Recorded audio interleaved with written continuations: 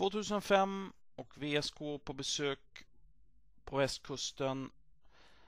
Bortamatch mot Falkenberg i Superettan. Här kommer Jonas Stark.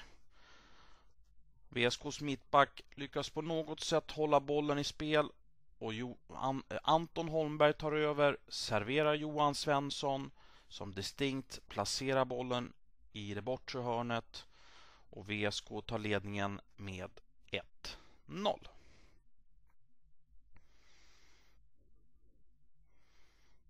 Slutet på andra halvlek. VSK-backen har kontroll på bollen.